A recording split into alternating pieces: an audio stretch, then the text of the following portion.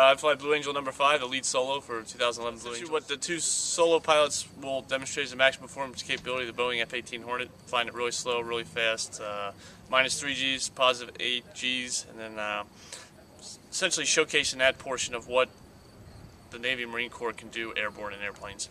Uh, and then we'll all join up together at the end for more formation flying with the six airplanes flying together, showcasing uh, a lot of breakout maneuvers as a six ship, and then uh, coming back into land. Just uh, an example of the Navy and Marine Corps pilots that are out there. We represent, you know, 540,000 sailors and Marines deployed around the world, and we're just an example of what those people are. We're nothing uh, better or worse. We just try to showcase to the American public what their Navy and Marine Corps uh, personnel are doing around the world and doing it through an air show is our best. Essentially, after about five to six years of flying experience, you'll uh, put an application in and just kind of do a series of interviews with the team, and then uh, that's really how you get selected. It's more of a uh, keeping the team dynamic so close. You know, it's more people, you know, personalities meshing and all that.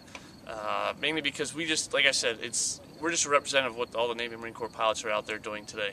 So to say we're anything special is is not really the case. We just happen to all get along, as I like to say.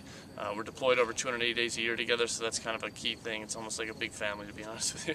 Well, you know, I think the Blue Angels are, are, are important. Uh, the average taxpayer, the average American, does not get a chance to go out to an aircraft carrier, doesn't get a chance to ride an amtrac, or see their men and women in uniform in action firsthand. So if the Blue Angels can drop into their backyard for a weekend, showcase and show them firsthand that pride and professionalism of the Navy and the Marine Corps, that's a great, great way to give back because they, because most people just don't know what we do on a daily basis, so we want to show them. You know, the other part of our mission is quite honestly recruiting.